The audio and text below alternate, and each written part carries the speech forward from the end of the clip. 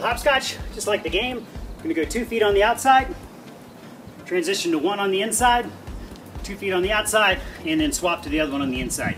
So remember, we're looking for speed and precision with this. I want you to think springy, stay on the balls of your feet. Really want to get off of that foot as quickly as possible, so load the spring, get off of it. Once you've gone the length of the ladder, simply go through a back pedal to return back to your start position.